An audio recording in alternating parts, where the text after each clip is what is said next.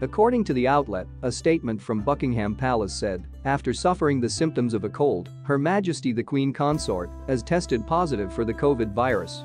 With regret, she has therefore cancelled all her public engagements for this week and sends her sincere apologies to those who had been due to attend them. It continued.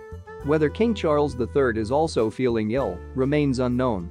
Camilla also tested positive for COVID-19 almost exactly one year ago. Thanks for subscribing and liking. Her Royal Highness the Duchess of Cornwall has tested positive for COVID-19 and is self-isolating.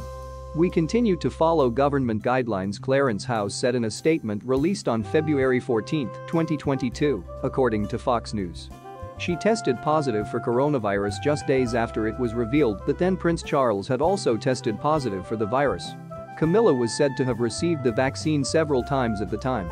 Camilla's symptoms persisted, according to an interview she gave shortly after becoming ill, reported Fox News.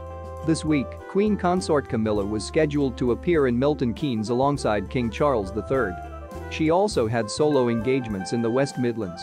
King Charles III has tested positive for COVID twice now once in March 2020 and again in February 2022, as per Fox News. Ani, I hope you were interested. Share your opinion in the comments. Subscribe and like.